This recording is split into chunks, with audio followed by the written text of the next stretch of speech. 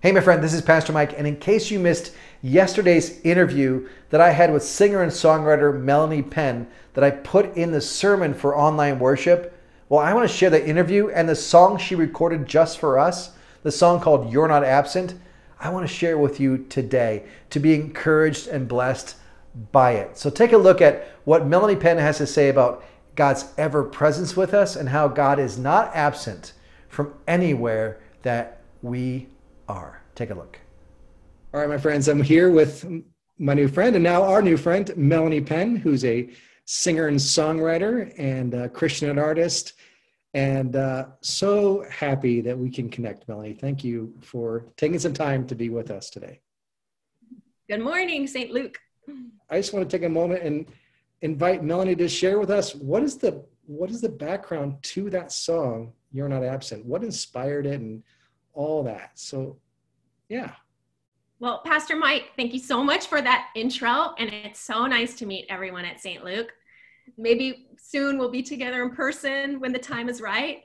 Um, I wrote You're Not Absent. So I'm a New York City resident, and I ended up being quarantined in Southern Virginia with my parents. And as we all can relate to, it was a very lonely time. I mean, life just stopped. And so, it, as I tend to do, because I'm a songwriter in lonely times, I write songs. And I this song called "You're Not Absent" started to come out, and it is a song about how even even when we're isolated from our friends and our loved ones and our coworkers, God is never absent. God is still very present, and God is still very present in trials of many kinds. That's what the song is about. And I ended up recording it, you know, in the studio, socially distant recording, and the song will come out on an album in September.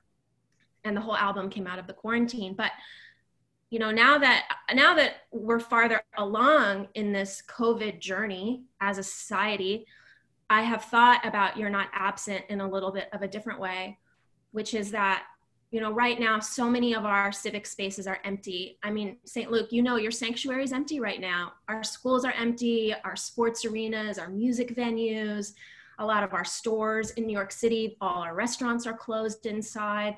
You know, there's emptiness in our culture, physical emptiness.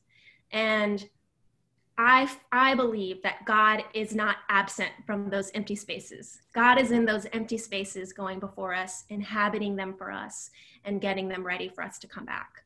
So it's the song works in two ways. It's an acknowledgement that God is always present, and it's also an acknowledgement that God goes before us into empty spaces and prepares them for us. That's awesome. And you're absolutely right. God goes before us into those places, like in our homes and different places that sometimes we don't expect God to be there, but God's already there saying, Here I am. And uh, now we're getting more aware of God's ever presence, the omnipresence, the quote unquote omnipresence of the Lord. And if God's present with us, God's going to do good things among us. Yeah. Yes. I mean, we have a whole as our society reopens, when we're, you know, when that time arrives, there's a new chapter ahead. And it could be that God is preparing us for this new chapter and preparing the world for this new chapter in, in a very exciting way. So I, I like to uh, look forward with that perspective because it's very easy to look forward with a with a kind of a more pessimistic perspective. And I don't think in light of the gospel that we have to be pessimists. We can be optimists.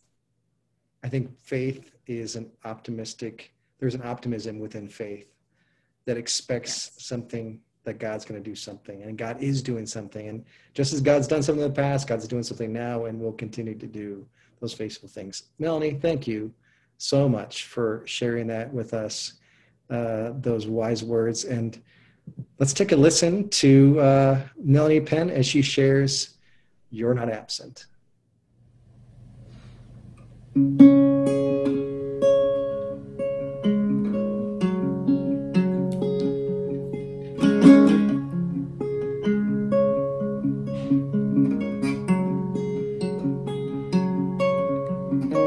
If a tree falls down in a forest, will it make a sound? above the floor if my friends were around. But I will wait upon you now. Cause you're not absent, no, you have.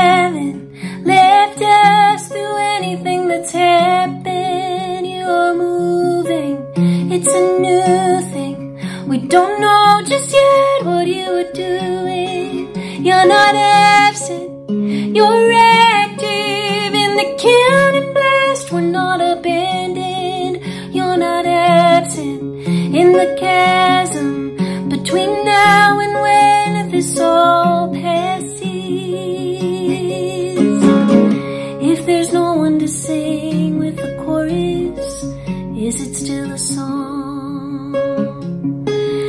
Voice will get drowned out while the storm is outside raging on.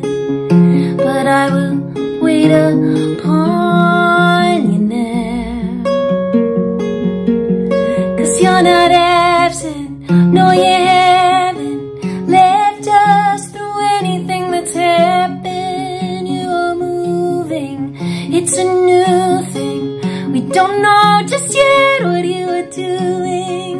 You're not absent, you're active in the cannon blast. We're not abandoned, you're not absent in the chasm between now and when this all passes.